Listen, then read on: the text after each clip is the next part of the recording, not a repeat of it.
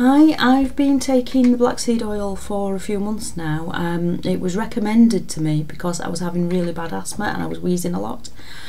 So um, I think it was after about a couple of weeks of taking it that I really started to notice the differences. The wheezing stopped. So I've carried on taking it and then I started measuring my lung function because it always used to be around 300 on a bad day up to maybe 350 on a good day.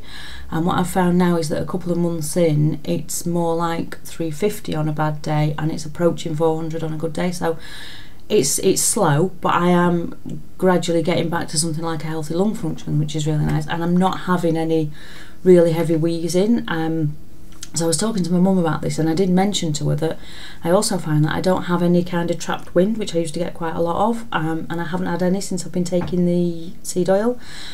So my mum went and did a little bit of reading about it and she decided she wanted to try some because she has arthritis. So she's been using it for her arthritis and also she has irritable bowel syndrome. So she was interested in the digestive aid qualities of it um, and it helped helped her as well. And now she's got my dad on it because he has hypertension.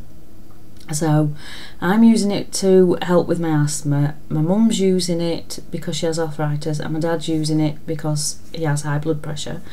Um, and one thing that I have noticed is that this year so far none of us have had any kind of colds or flus or anything. So I'm not entirely sure but we are usually all quite susceptible. It usually kind of goes round and round the house. And this year it, we've all been really healthy. So I'm, I'm wondering if that might be down to the black seed oil as well